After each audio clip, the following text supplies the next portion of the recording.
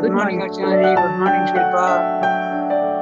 And uh, Yasmin has not yet joined, but we can start. We'll record and start. Recording is started. So, who will read? Sunki, will you read? Yes, I will read. Go ahead.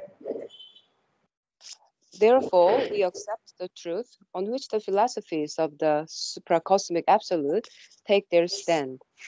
Illusionism itself, even if we contest its ultimate conclusions, can still be accepted as a way in which the soul in mind, the mental being, has to see things in a spiritual pragmatic experience when it cuts itself up, when it cuts itself off from the becoming in order to approach and enter into the absolute. But also, since the becoming is real and is inevitable in the very self power of, of the infinite and eternal, this too is not a complete philosophy of existence. It is possible for the soul in the becoming to know itself as the being and possess the becoming, to know itself as infinite in essence, but also as a as the infinite self as the infinite self-expressed in the finite, the timeless eternal eternal, regarding itself and its works in the founding status and the developing motion of time eternity. This realization is the culmination of the becoming. It is the fulfillment of the being in its dynamic reality. This too, then, must be part of the total truth of things. For it alone gives a full spiritual significance to the universe and justifies the soul in manifestation. On explanation of things that deprives cosmic and individual existence of all significance cannot be the whole explanation or the solution it, pro- the solution it proposes the sole true issue. Okay, so he is going to, he has told us what are the different uh, philosophies. He has told himself also what his philosophy is. That he accepts that there is an absolute at the highest level and that there is a movement and a manifestation in the lower level and both are real. Okay, both are real. They are not to be discarded. The materialist says that there is no absolute and the, uh, the yogi says that there is no matter. Okay, so Sridhar says both have to be accepted. So now we read each sentence today what we read and we'll see what he's saying. Therefore, we accept the truth on which the philosophies of the supracosmic absolute take their stand. Okay? So the, the philosophies which accept the supracosmic absolute, we take the stand, we accept them. Who is the we? Sridhar. Okay?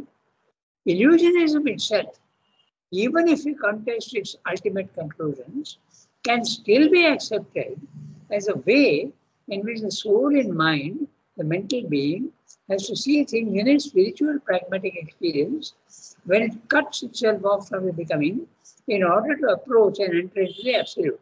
What Silva is saying is interesting. He's saying that even the if you accept the highest level, I, I accept it. But if you say that matter is the only reality, then I don't accept. Okay? So that's what he said. Therefore, we accept the truth. Now he's saying, so he's saying that even illusionism, he is accepting partially. Okay? Illusionism is Mayavada, and it's also Buddhism also forms part of the same group okay, of illusionism itself. Even as in my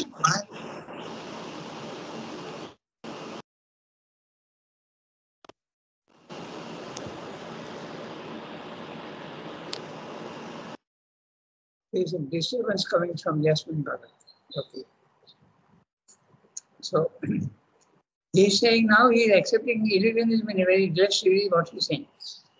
Illusionism itself, even if we contest its ultimate conclusions, can still be accepted as a way in which the soul and mind, the mental being, has to see things in a spiritual pragmatic experience when it cuts itself off from the becoming in order to approach and enter into the absolute.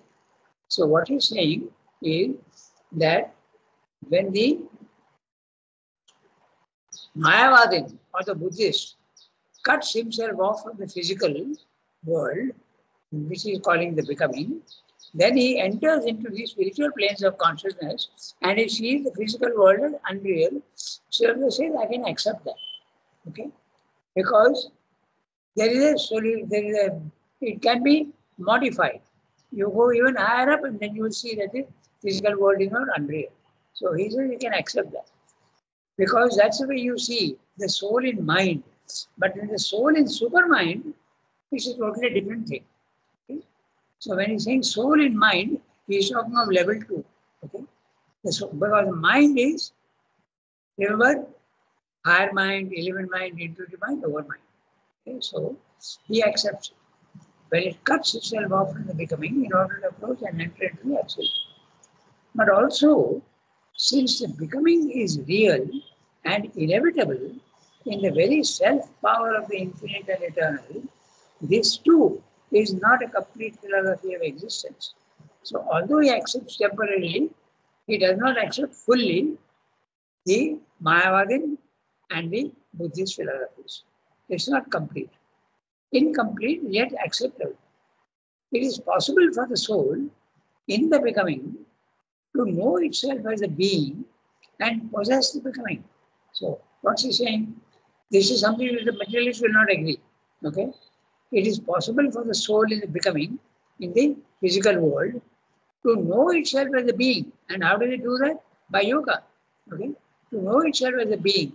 The being is a static condition, the Brahmic consciousness. And possess the becoming. Okay? Now, possess the becoming is even one more step. When you go to the Brahmic consciousness and possess the becoming, he is speaking of his own philosophy. Okay? to know itself as infinite in essence, but also as an infinite self expressed in the finite, the timeless eternal, regarding itself and its works in the founding status and the developing motion of time eternity. So, the Buddhist is saying that the world is, an, um, is an illusion and he escapes. So, Swami says it is not full because the soul, even when it is in the lower level, of the physical world, it can know the being, it can know the reality of the Brahman consciousness, and also it can possess the becoming. The becoming, what does it mean? It means that you can be master of your body, body, body mind life. Okay? Possession always implies mastery. Whatever I possess, I have full mastery over it. So that's what he's saying. Okay?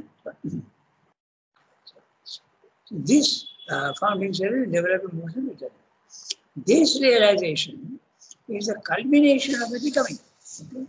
When you know that you can possess the physical world and be master of it, this is a realization, is a culmination of the becoming.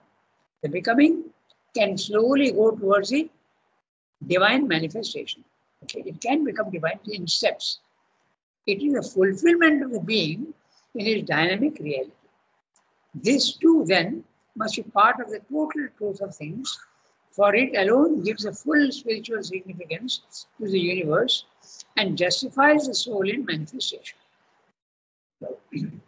what he's saying is that the Mayavadin is going halfway, but we want to go the full way. We want to even say that the soul can become master of the universe. Okay? And the uh, it can also possess its own body mind life. Possess be, be master of body mind life.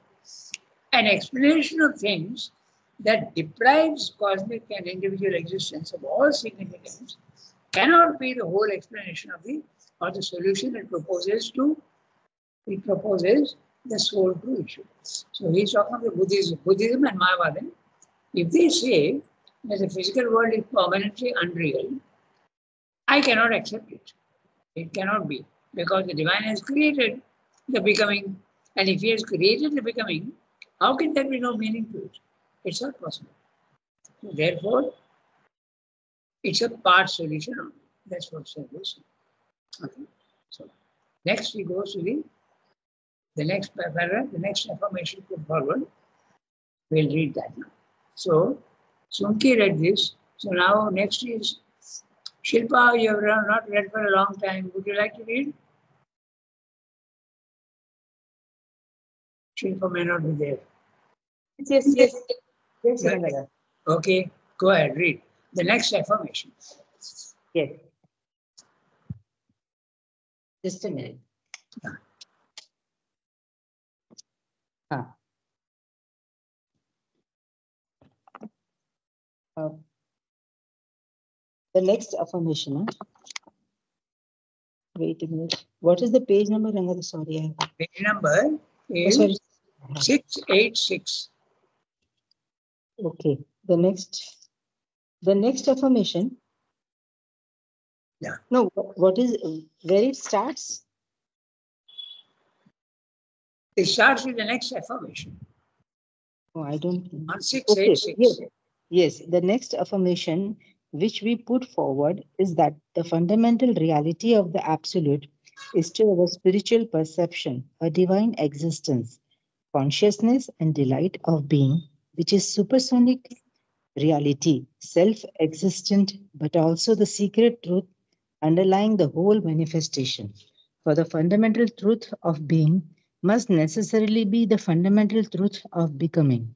All is a manifestation of that, for it dwells even in all that seems to be its opposites and its hidden compulsion on them. To disclose it is the cause of evolution on inconscience to develop from itself its secret consciousness, on the apparent non being to reveal in itself. The occult spiritual existence, on the insensible neutrality of matter to develop a various delight of being which must grow, setting itself free from its minor terms, its, its contrary dualities of pain and pleasure, into the essential delight of existence, the spiritual ananda. Okay, so now Chairman is going to make another statement. But what I'll do, I'll read the summary and then we go on to the details of all the sentences. So first he has told us that all the philosophies which accept, to very, very uh, simple terms, if they accept God, I will accept their philosophy. That's what he's saying. But instead of saying God, he says the absolute. And now he's saying that the absolute is Satchidananda. Okay? So, next, what he's saying. The first he says absolute we have to accept. Then it is acceptable to me. We say next that the absolute is a divine Sat Chit Ananda. He has not told us what the absolute was. Now he is telling us. Okay? It is an existence that is conscious of itself and possesses force and bliss. It is self existent and the secret truth of being as well as that of becoming. Okay? That means its manifestation. God is real and if God is manifesting in the physical world, that also is real. The becoming, the universe, is a manifestation of the being. Okay? To put in simple terms, if you want, the world is a manifestation of the divine. The truth of spirit is also the truth of matter because, in essence, they are the same. Then, the becoming that seems to be the opposite of being contains in itself all the potential truths of being, and these truths it is compelled to unburden itself in the ascending evolution. From matter emerge all the wonderful miracles of the spirit. Okay? First in life, and its infinite variety of color, form, and quality. And next, the miracle of mind, that actually is matter capable of thoughts, ideas, imaginations. Finally, emerges the soul that seeks and can find God even in the world. Okay? Then, all the dualities and oppositions of the world get harmonized in the upper hemisphere. So, they seem to be opposite, but they are actually essentially not opposite.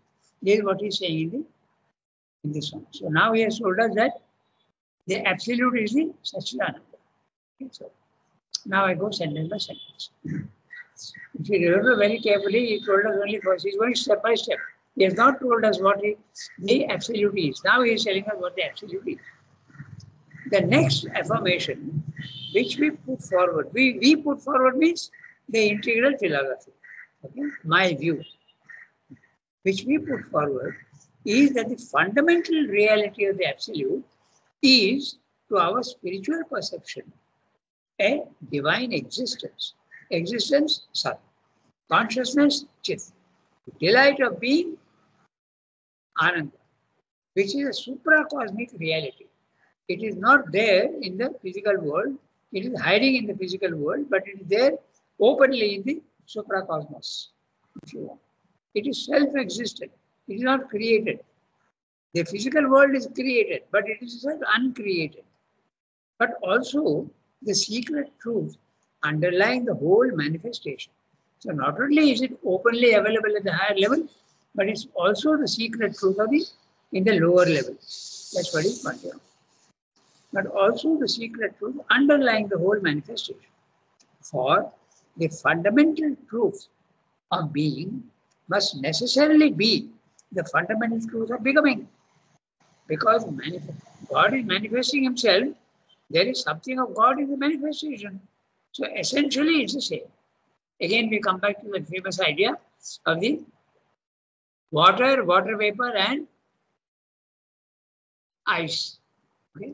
Essentially the same. All are uh, all are water only, but they take different forms. So the physical world is nothing but the Brahman, but taking a different form. Okay? So he is accepting that. Fundamental truth of being must necessarily be the fundamental truth of becoming. All is a manifestation of that. Now he is coming back to that word absolute of that with a T cap. Tad. Okay. Why?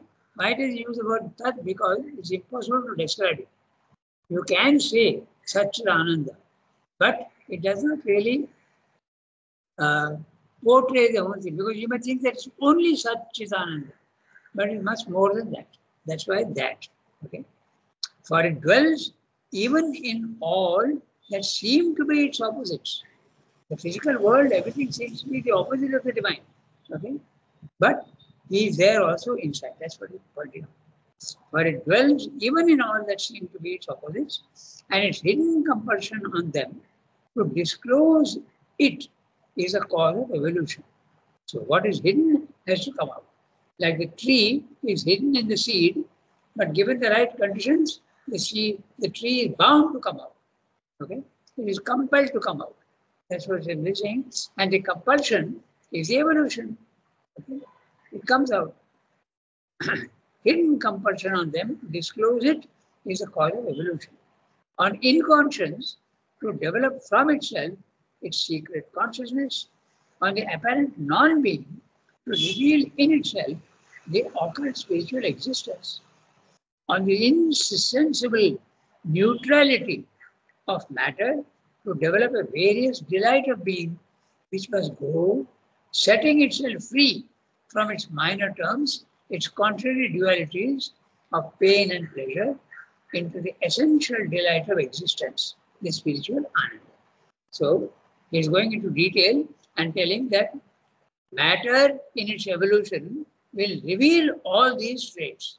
It will reveal matter as divine, it will reveal chit, the unconscious which you see in the physical world, it will show itself to be consciousness, it will show itself to be power, and it also it will show itself to be ananda. That's what it is. now we go to the next one. The being is one. But this oneness is infinite and contains itself. One by one is taken up. The being is one and the manifestation is the many. Okay? So that he will take up.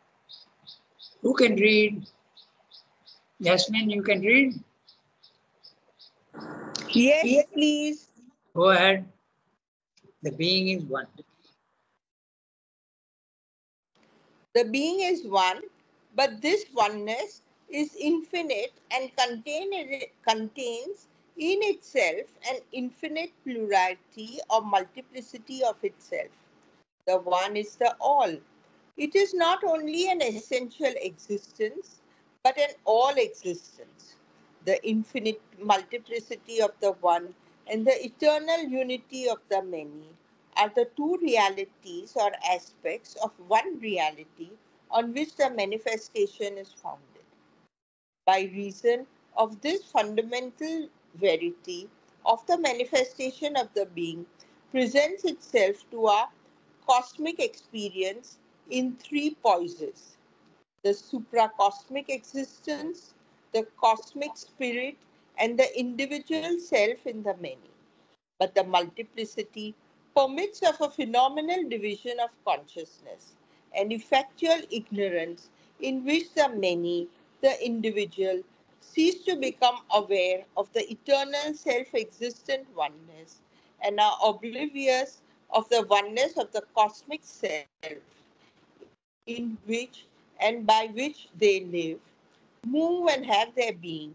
But by force of the secret unity, the soul is becoming, is urged by its own unseen reality and by the occult pressure of evolutionary nature to come out of this state of ignorance and recover eventually the knowledge of the one divine being and its oneness with it, and at the same time to recover its spiritual unity with, with all individual beings and the whole universe.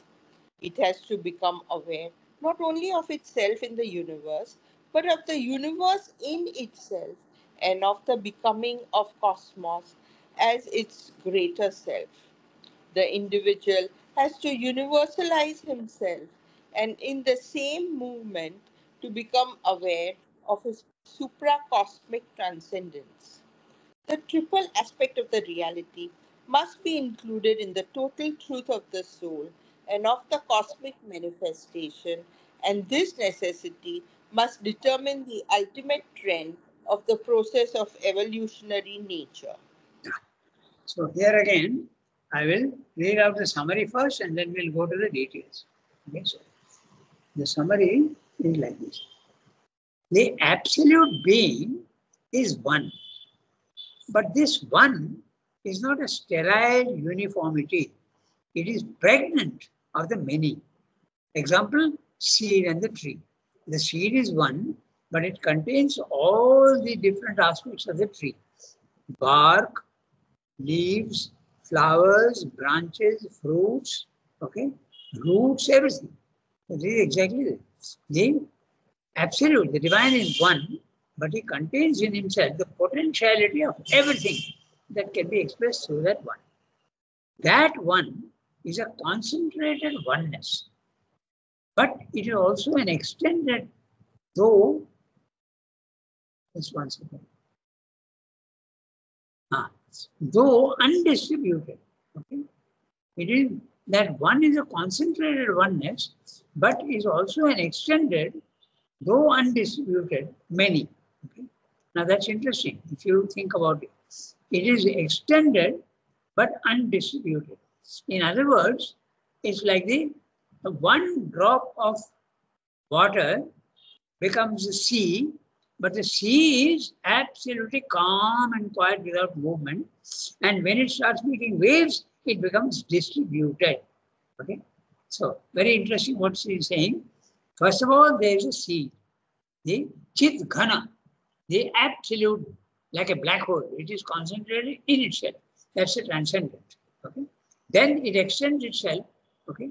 The second level of the um, second poise of the supermind it extends itself into this ocean. The water extends, but there's no movement in the ocean and there's no wave also. So it's an extended but undistributed oneness. In the third level, it starts distributing itself into waves. All the forms are created. Okay? So this is the triple status of the supermind that is describing here. First of all, there is a oneness, only one. Second, it extends itself. And third, it makes forms. Though undistributed. Oneness and multiplicity are, though seeming to be contrary to each other, the same reality. Just once again. Are really the same reality. In the becoming, the many contain the secret oneness, and in the being, the one contains the essence, the potential of the many. You come back to that famous uh, uh, sentence of the um, William Blake. No? To see a world in a grain of sand. A grain of sand can contain the whole universe. Okay? And heaven in a wild flower. In a wild flower, the whole of heaven is there. Hold infinity in the palm of your hand and eternity in an hour. So the whole universe is condensed into the atom, and the atom contains the whole universe. It can flower out from there. That's it. The one and the many are essentially the same. One is one contains all the many, and the many contain in potential the one. So this is what he's saying. Because of the secret correlation of the one and the many, the being takes three poises. The transcendent, the cosmic, and the individual. But there is one thing to be noted. In the becoming of the many, a phenomenal division, a separation of the being takes place, and this division permits the ignorance, which is the perception of the many only without the oneness. So this is what he's saying. In the many, when the dissolution of takes place, the phenomenon of separateness comes in. And what is that? The ego. The ego starts seeing everything as separate. Although this sense of separation is false, it is not there. It is possible to go to the cosmic consciousness and see the oneness of things. The dividedness of things is not real. Okay? Just as the Gita says, Vibhaktam iva tishtati, avibhaktam vibhaktam iva tishtati. Although undivided, it looks as though it is divided. The many. Yeah? That's what it's saying. This seeming division becomes an effectual and practical ignorance. It's not real ignorance, it is only practical and effectual. Because if you change your stand from level one to level two, you start seeing the many as one. You don't see the many, but you see the oneness behind the many. Okay? It sees only the many, loses sight of the one, but the, the, the soul in ignorance is divine in essence. This latent divinity urges it and goads it to become divinely perfect. Then the soul in the ignorance recovers its oneness with the other souls and attains cosmic consciousness. It loses its ego, which is the agent of division and separation, and becomes universal. Okay? Again, to understand this, you can think of the grain of salt. Okay? When thrown into water, it becomes a salt solution. It is not now limited in a personal form, shape, color, size, weight, but it becomes everywhere. So that's a real individuality. Thus, this triple aspect must necessarily be a part of the integral knowledge. So divine takes three poises, transcendent, cosmic, and individual. That's what he's saying in the Bible. Okay? Now we read the each sentence to understand the way he expresses all these things. The being is one. Remember, the being is that which is static and one without any differentiation. Like the ocean, which is absolutely calm and quiet without any waves. That's a being. And it is one. The universe is, wherever you go in the sea, it's only the sea. No wave, no difference at all, no movement. The being is one, but this oneness is infinite and contains in itself an infinite plurality or multiplicity of itself. It contains in essence all the multiple things that can, can express. The one is the all. It is not only an essential existence, but an all existence. It contains everything. The infinite multiplicity of the one and the eternal unity of the many are the two realities or aspects of the one reality on which on which the manifestation is founded. So, although we accept the physical world as a manifestation of the divine, and we accept that superficially they seem to be opposites, but they are really not opposites. That's what Swami pointed out. Essentially, they are one. By reason of this fundamental verity of the manifestation, the being presents itself to our cosmic experience in three poises. The supra-cosmic existence, which he calls the transcendent, the cosmic spirit, which he calls the universal or the cosmic, and the individual self in the many. So, these are the three. This supracosmos, if you want, the transcendent produces the universe, and the universe produces the individuals. But the multiplicity permits of a phenomenal division of consciousness. There is one problem. When this is divided, distributed rather, the one sea, one ocean starts making waves. Each wave gets the added sense of separateness from the others. That's the ego which comes in. Okay, that's what he's saying. Actually, there's no difference. Each wave is the same as other waves, but it starts seeing itself as separate. That's the problem. Okay? But the multiplicity permits of a phenomenal division of consciousness, phenomenal, huh? not real, and effectual. Effectual ignorance, the word effectual is very interesting. It's an effect, it's not a cause. Okay? It is a result. The ignorance that you see here is a result. It's only a result of the division that happens. It's not essential. It is not real. It's not ultimate, the division. It's a supervision division.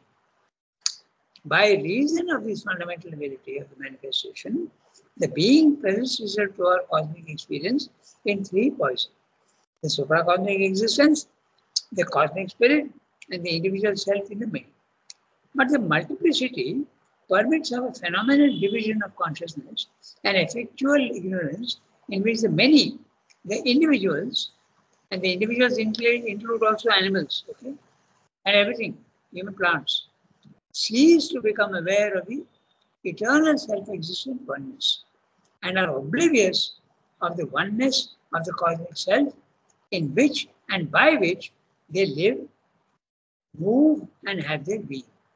When ego comes in, the division, instead of being apparent, becomes real. That's what Okay. But real only at the surface, not in the deep.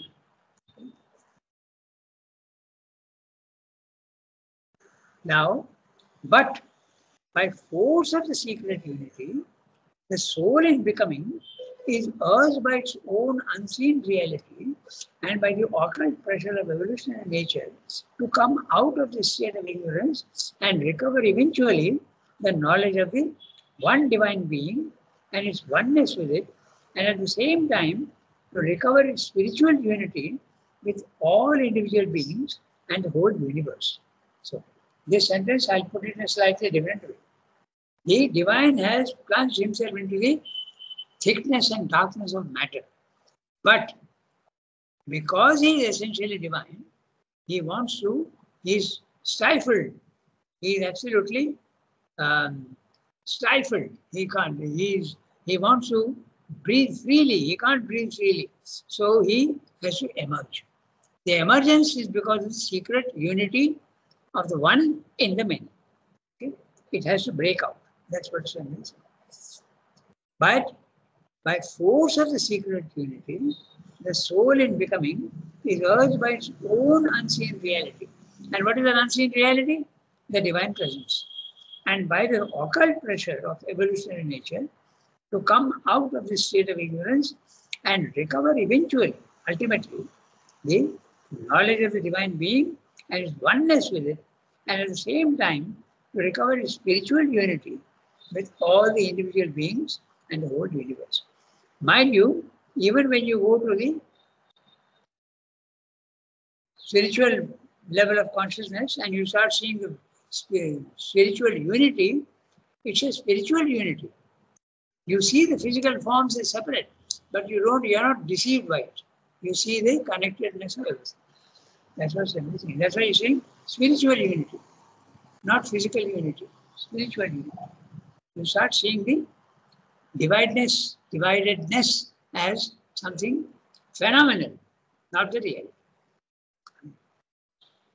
It has to become aware not only of itself in the universe, but of the universe in itself and of the being. So the individual has to realize that he is the divine, but then also he is the universe. And what is that? That's a cosmic consciousness. So when you are in the cosmic consciousness, then you realize that you are the universe. And the universe is there within you. It has to become aware not only of itself in the universe, but of the universe in itself and of the being of cosmos as its greater self. The individual has to universalize himself and at the same time to become aware of his supracosmic transcendence. So he must also realize that he is the divine. This triple aspect of the reality must be included in the total truth of the soul and the cosmic manifestation. And this necessity must determine the ultimate trend of the process of evolutionary nature. He is giving you all things one by one. First, he told you that there is an absolute, and all philosophies don't accept the absolute, they will reject. Next, he says that the uh, absolute is the Sachidananda, and the Sachidananda manifests itself in the physical world, therefore, we accept also the physical world as real. But there is a division and an ignorance. So now he says there is an ignorance which also has to be conquered. He is slowly giving you the whole picture. So what's the time? 38. So I don't think we can read the next one. All views of existence is quite long. We will keep it for next time. All views of existence that stop short of the transcendence and ignore it must be incomplete accounts of the truth. So we will stop here today and make a note. We'll read from all views of existence. You can slowly see Yes, Yes. I'll make a note, Rangada. how Sembro is slowly revealing himself in paragraphs, not in sentences, in paragraphs. That's why it's difficult to understand his uh, style of writing because he doesn't write one single thing. Normally, what one would do is you give a, a small description of yourself, of your philosophy in one para, and then you start giving details. Now, Srimba starts giving details right from the beginning. So, some details are not revealed in the beginning, and that creates a problem. He told us first only absolute. So, we don't know what that absolute is.